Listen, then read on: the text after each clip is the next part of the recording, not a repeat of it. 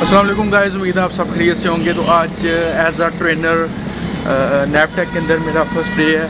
तो hope for the best